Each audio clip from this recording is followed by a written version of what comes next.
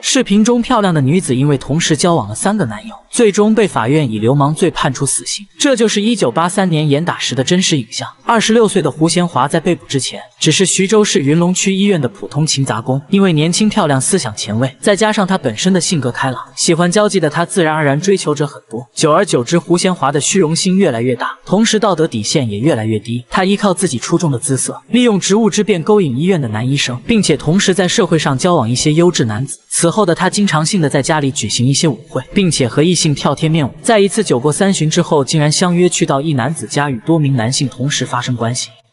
我同蒋进昌、吴月清、王景荣赵成在王景荣、徐伟等住处共同进行流氓犯罪。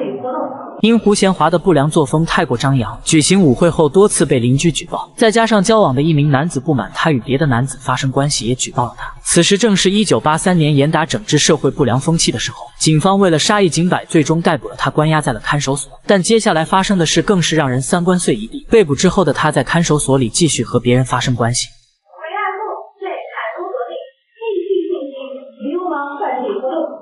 由于情节特别严重，名分很大，最终法院判处了胡贤华死刑。他在听到判决书的那一刻时，从视频中可以感受到他的恐惧与懊悔。此时的他带着哽咽声向法官求起情来。